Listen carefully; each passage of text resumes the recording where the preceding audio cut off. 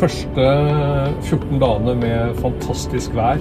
Eh, sol og 20 grader og Lofoten var et eventyr. Lofoten et eventyr. Eh, Siste uka har det bare vært eh, regn, og temperaturen har gått ned og ned og ned. og ned. I dag så er det faktisk fem grader. Nå er den tre, Ja, nå er det tre grader ute, og det snør. det snør.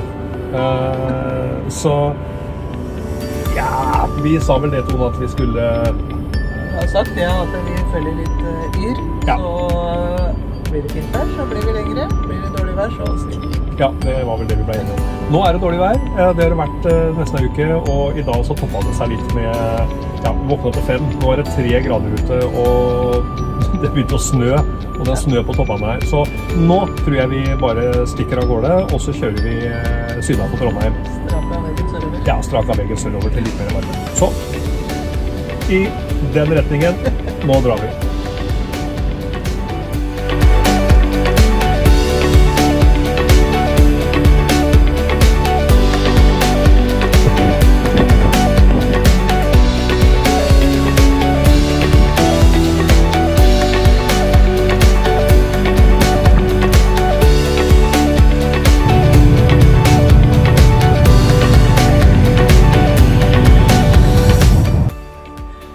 Da er vi nesten på Dovre, og vi har eh, gleder oss til et fantastisk måltid her med laks i fløte, paprikasopp og vårløk.